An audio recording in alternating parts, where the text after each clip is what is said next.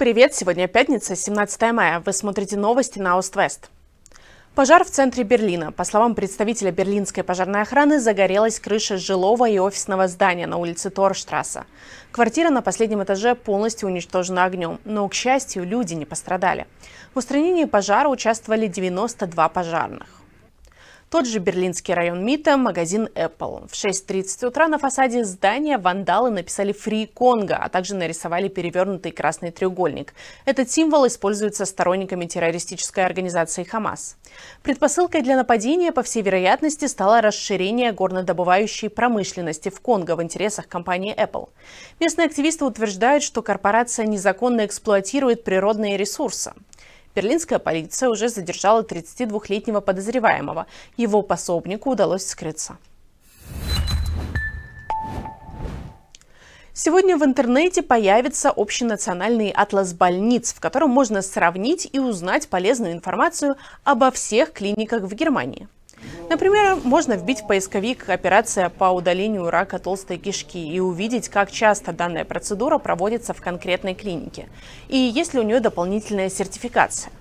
Также в Атласе можно найти информацию об укомплектованности штата. Сколько пациентов на одного врача, сколько медсестер следят за каким количеством больных. Также будет указано количество осложнений после операции.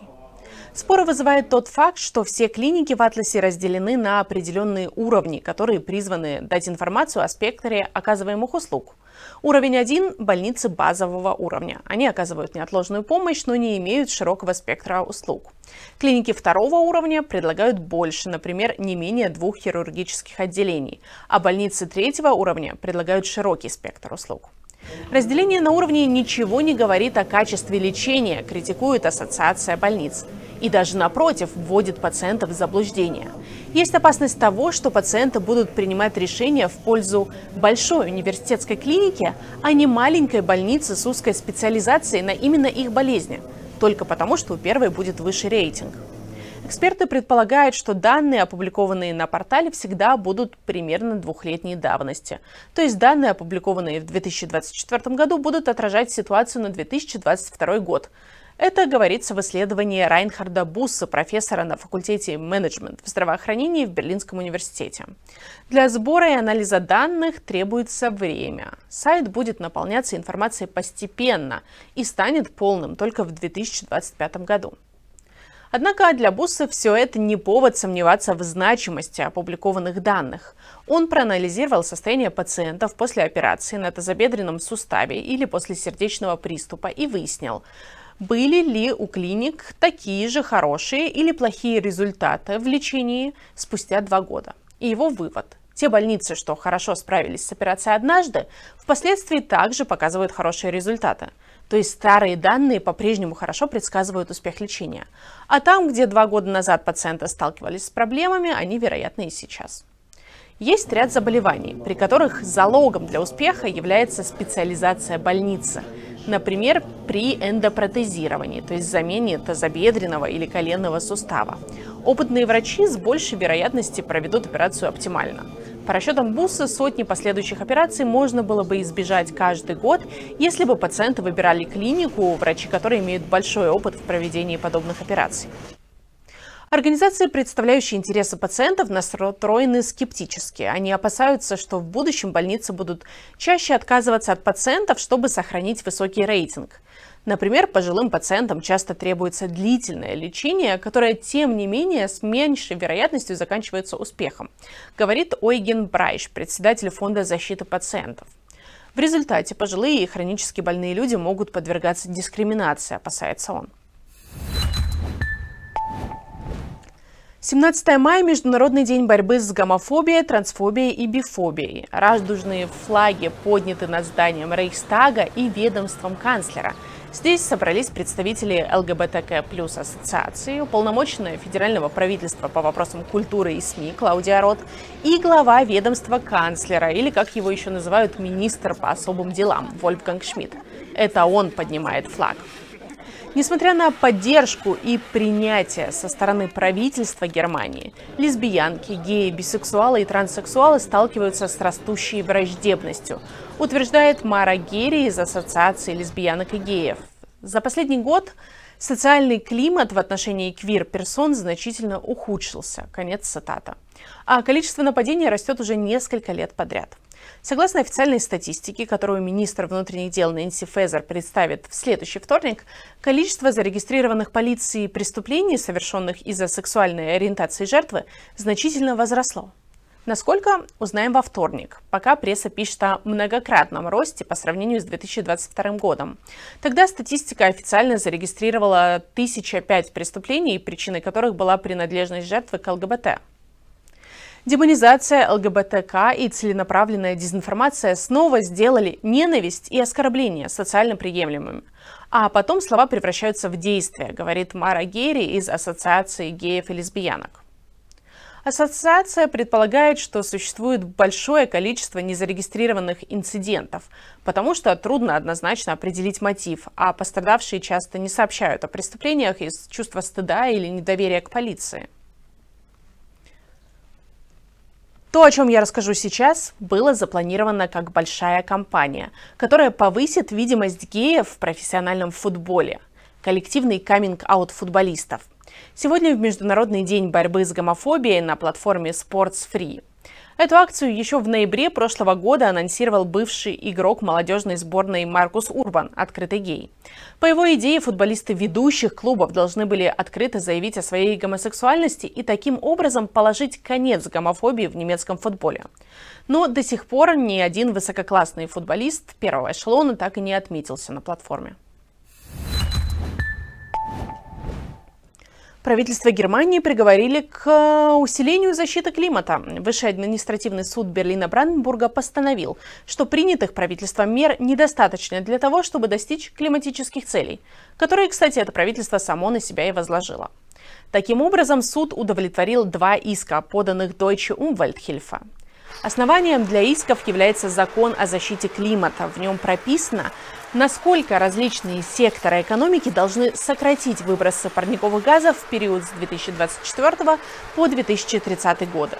В законе также прописана общая цель сокращения выбросов не менее чем на 65% к 2030 году по сравнению с годом 1990. Суд постановил, что в своем нынешнем виде программа, принятая в октябре прошлого года, недостаточна для достижения этой цели. Уже сейчас можно предвидеть, что многие отрасли, за исключением сельского хозяйства, превысят допустимые объемы выбросов парниковых газов, заявила председатель коллегии судей Ариана Холля.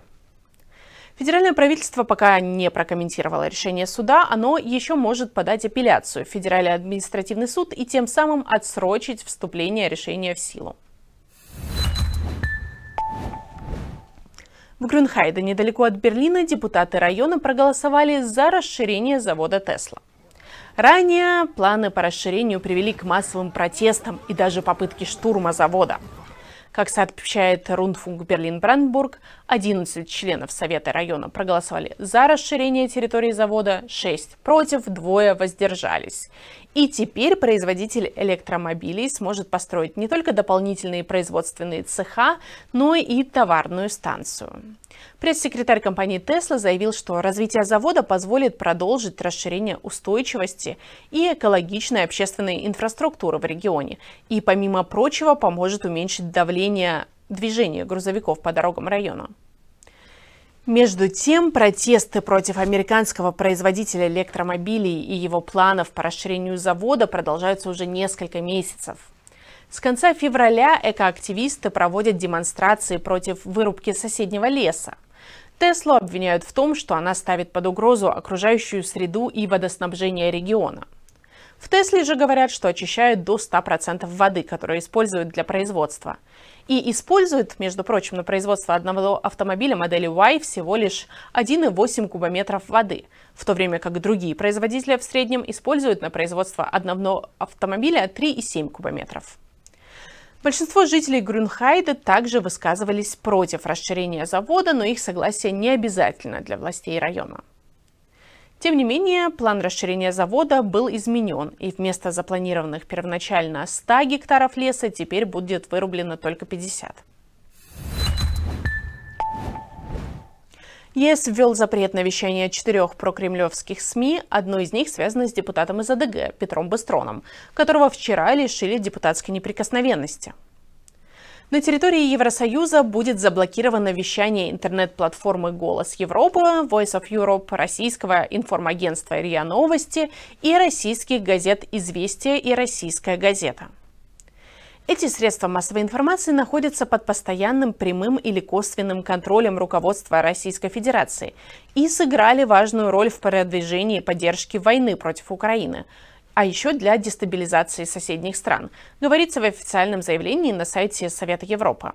Однако этим СМИ и их сотрудникам по-прежнему разрешено работать в Европе, например, брать интервью. Пророссийская интернет-платформа «Голос Европы», она базируется в Праге, подозревают не только в распространении путинской пропаганды в ЕС, но и в том, что она платила деньги европейским политикам, чтобы те, в свою очередь, влияли на политическую повестку в пользу России – Речь идет в том числе и о депутате Бундестага от АДГ Петре Быстроне. В начале апреля чешская газета «Денник Н» сообщила, что Быстрон, предположительно, получил десятки тысяч евро через «Голос Европы». Депутат от АДГ все обвинения отрицает. Однако в четверг, 16 мая, Бундестаг лишил Быстрона депутатской неприкосновенности, а следователи провели обыски в офисе политика, а также в нескольких местах в Баварии и даже на Майорке. Интервью «Голосу Европы» давал и другой депутат от АДГ Максимилиан Кра. Он в данный момент находится под подозрением в возможном получении денег из Китая. Об этом пишет Süddeutsche Zeitung. В НАТО не верят, что Россия может совершить стратегический прорыв на Харьковщине. Об этом на пресс-конференции по итогам заседания Совета Украина-НАТО говорил командующий Объединенных Вооруженных Сил НАТО в Европе Кристофер Каволи. Нет, у русских нет необходимой численности для стратегического прорыва. Более того, у них нет навыков и возможностей, чтобы действовать в масштабах, необходимых для использования любого прорыва в стратегических целях. Они могут добиваться локальных успехов, и они это делают. Они также понесли некоторые локальные потери. Я в очень тесном контакте с нашими украинскими коллегами, и я уверен, что они удержат оборону. Тем временем российские войска расширили зону активных боевых действий в Харьковской области почти на 70 километров. Таким образом, пытаясь заставить Украину задействовать дополнительные бригады и резервы, считает главнокомандующий Вооруженных сил Украины Александр Сырский. Основные усилия российская армия сосредоточила на направлении Стрелечья, Липцы и на захвате Волчанска, чтобы потом выйти к Белому колодезю и вступить в тыл ВСУ. Сырский прогнозирует тяжелые бои и говорит, что обе стороны к этому готовятся. Владимир Зеленский подписал закон о добровольной мобилизации осужденных. Этот закон предусматривает возможность для осужденных выйти на свободу по условно-досрочному освобождению для военной службы по контракту. По расчетам Минюста Украины потенциал призыва из зон 120 тысяч человек. При этом освобождению не подлежат люди, осужденные за особо тяжкие статьи.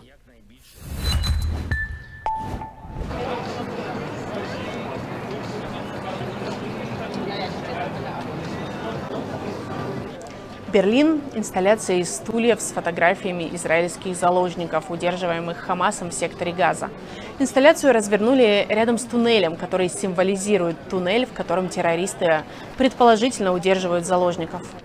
Äh, Я думаю, важно продолжать напоминать людям о ситуации с заложниками, о том, что проблема все еще не решена. В настоящее время средства массовой информации уделяют большое внимание ситуации в секторе Газа и страданиям там, которые, конечно, нельзя замалчивать. Но широкая общественность, к сожалению, очень часто путает причину и следствие. Прежде всего, как демократы, мы все обязаны занять позицию здесь, в Германии, и, конечно, особенно еврейский спортивный клуб «Маккаби» не должен стоять в стороне. Сегодняшний день — это четкий знак для нас всех, для всех немцев, для всех демократов, что мы должны подняться и стать громче. Это наша общая обязанность.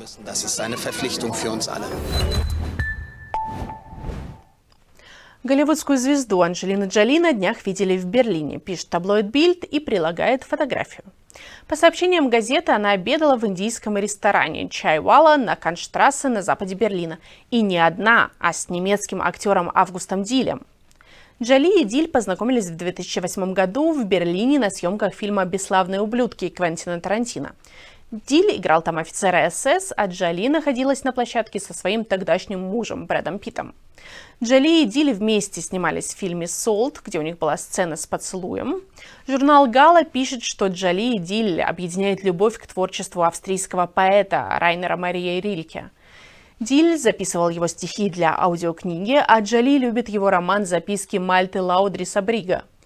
А еще Август Диль знаком российской публике. В этом году в российский прокат вышел фильм «Мастер и Маргарита», в котором он играет Воланда, дьявола, оказавшегося в Москве в раннее советское время. Фильм был снят еще до начала вторжения в Украину и быстро стал лидером проката в России, что вызвало возмущение у российских пропагандистов. Лента заканчивается кадрами сожженной Москвы, а режиссер ленты выступал против войны. На этом я прощаюсь с вами. ОСТВС снова выйдет в эфир во вторник, 21 мая, а до этого мы будем держать вас в курсе событий в э, социальных сетях. У нас есть Telegram, Facebook, YouTube и даже TikTok. Хорошего вам вечера, до свидания.